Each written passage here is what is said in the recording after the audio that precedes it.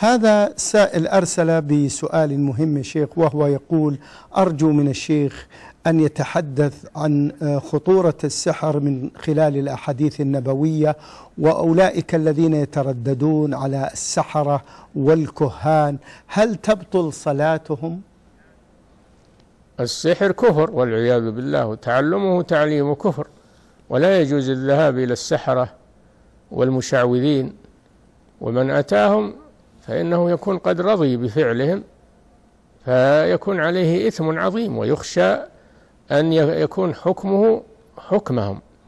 فيجب اجتناب السحر والسحرة والابتعاد عنهم والإبلاغ عمن يعلم أنه ساحر وهو في بلاد المسلمين.